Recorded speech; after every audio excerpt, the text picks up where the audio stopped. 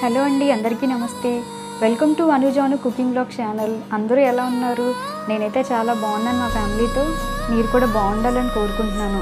Okay fine. ఈరోజు మనం ఛానల్లో ఒక రెసిపీ చేద్దామండి. అదే లేడీస్ ఫింగర్ కర్రీ. అది ఎలా చేయాలి దాని పదార్థాలు ఏంటో తెలుసుకుందాం. మరి లేట్ చేయకుండా వీడియో చూసేద్దామా? బెండకాయ కూరకి కావాల్సిన పదార్థాలు రెండు ఉల్లిపాయలు మూడు పచ్చిమిర్చి కొద్దిగా కరివేపాకు రెండు టొమాటోలు కొద్దిగా కొత్తిమీర అండ్ కొద్దిగా చింతపండు తురుముకున్న బెండకాయ ముక్కలు.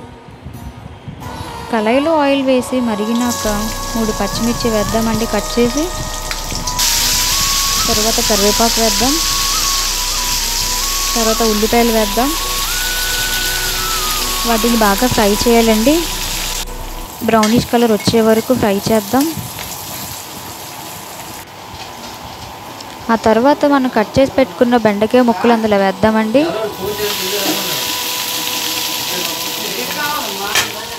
ఒకసారి కూర మొత్తాన్ని కలుపుదామండి.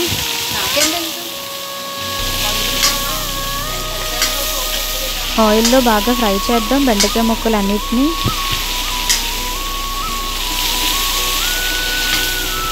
ఆ తర్వాత మనం కట్ చేసి పెట్టుకున్న టొమాటో ముక్కలు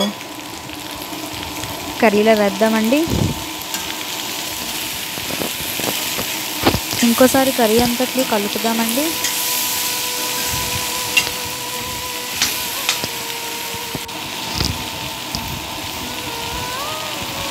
ఇప్పుడు మూత పెట్టి కొంచెం సేపు మగ్గనిద్దామండి కూరని. ఇప్పుడు పక్కన ఒక గిన్నెలో కొంచెం వాటర్ వేసి చింతపండు పులుపు తయారు చేద్దామండి.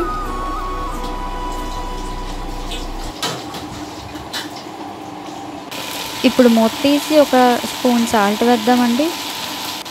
టూ స్పూన్స్ కారం వేద్దామండి. లేకపోతే ఒక స్పూన్ అయినా పర్వాలేదండి ఎందుకంటే పచ్చిమిర్చి వేశారు కనుక. బాగా ఒకసారి కర్రీ అంతటిని కలుపుదామండి. ఉప్పు కారం కూరకి పట్టేలాగా కొంచెం కలుపుదామండి.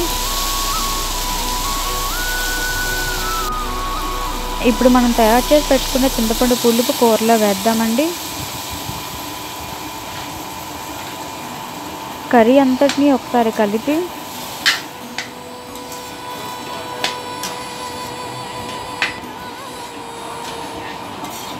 ఒకసారి మళ్ళీ కలుపుదామండి. మూత పెట్టి కొంచెం సేపు ఉడికిద్దామండి. ఒక పది నిమిషం ఆగిన తర్వాత కర్రీ దగ్గరగా అయిపోతుంది. మనం గార్నిషింగ్కి కొద్దిగా కొత్తిమీర వేద్దామండి. అంతే బెండకాయ కూర రెడీ అయిపోయింది. థ్యాంక్ యూ ఫ్రెండ్స్ వీడియో చూసిన మీ అందరికీ చాలా థ్యాంక్స్ అండి.